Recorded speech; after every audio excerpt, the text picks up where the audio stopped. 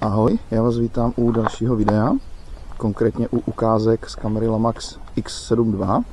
Tady tohle, co teďka vidíte, je nejširší úhel eh, bez, eh, toho, bez zapnutí té korekce zkreslení a bez zapnuté stabilizace. To znamená, že je to to nejširší, co eh, kamera umí.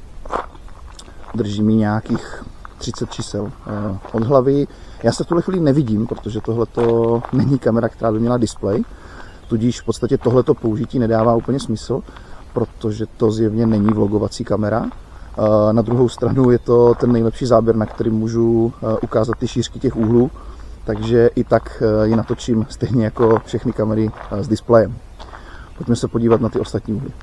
Takhle vypadá střední úhel záběru.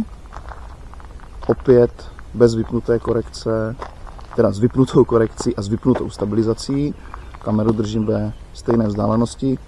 A jenom možná dodám, že zvuk je taky přímo z kamery, tak aby to bylo naprosto autentické a teď se podíváme na ten úzký. Tohle je úzký úhel záběru, to znamená v tom základu ten eh, nejužší. Eh, teď si ještě zapneme tu eh, korekci toho rybího oka a případně i stabilizaci.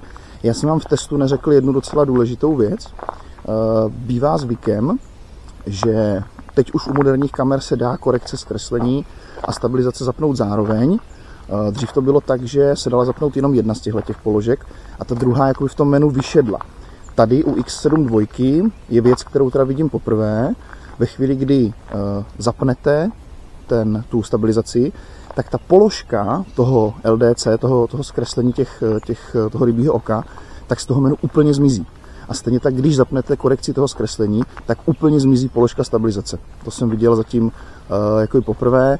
Pojďme si teďka ukázat názorně.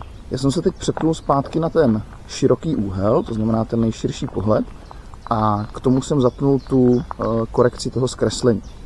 Myslím si, že uh, zapínat ji u toho úzkého úhlu v podstatě nedává smysl, protože tam to zkreslení není nebo je, nebo je minimální.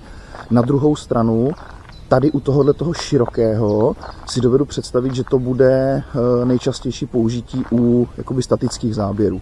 Jo, že tu kameru použijete tam, kde potřebujete široký úhel a e, prostě skorigujete jenom tady tuto tu optickou nepřesnost. Takže tohle to je široký úhel se zapnutou korekcí zkreslení. No a konečně poslední pohled. E, v tuhle chvíli mám zapnutý široký úhel a mám zapnutou stabilizaci obrazu. Eh, tím pádem teda vypnutou tu korekci toho zkreslení. To bych zase viděl jako nejčastější použití na nějaké záběry v pohybu a tím pádem taky eh, v tomto režimu budou všechny ostatní ukázky.